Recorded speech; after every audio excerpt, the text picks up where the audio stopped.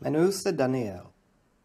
Je mi 25 let, studuju literaturu a snažím se stát spisovatelem.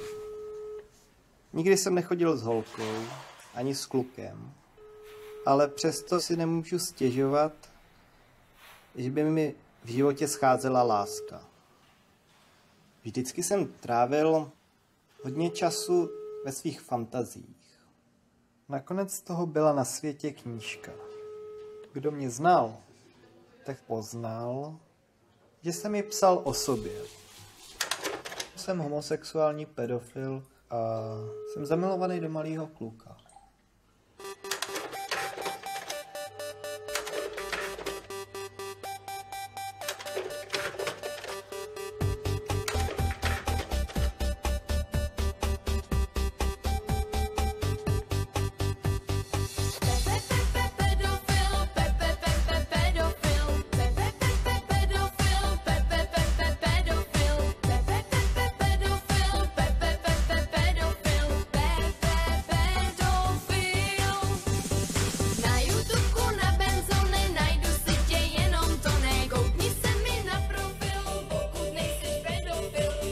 Hlavně, že se o pedofilech mluví. No, ale tak jako v tomhle smyslu, to je úplně nesmysl.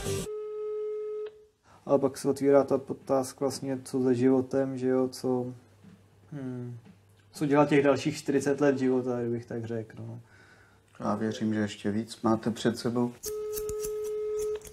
jak to řešíš, aby si třeba nespát do toho bejt uchyl.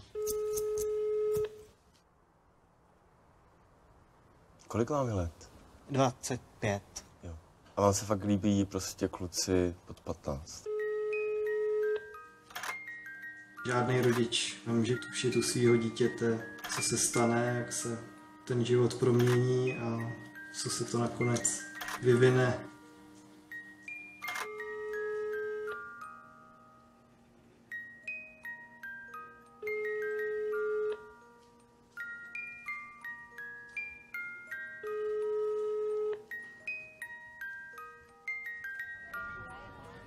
A jelikož mi něco říká, že začínáme být nápadní, takže můžeme se pohnout dál, pánové?